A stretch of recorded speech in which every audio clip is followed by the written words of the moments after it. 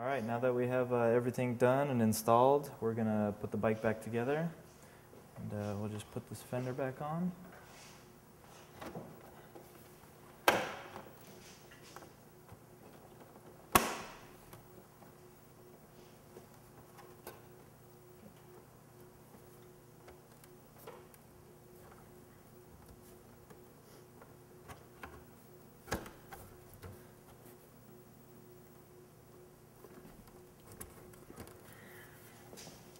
Just like that.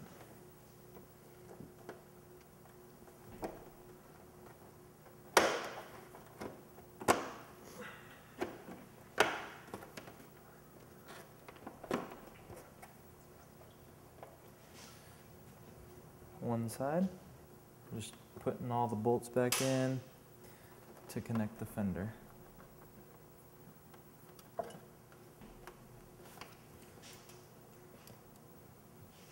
Just make sure you don't want to over tighten them. Might crack the fender.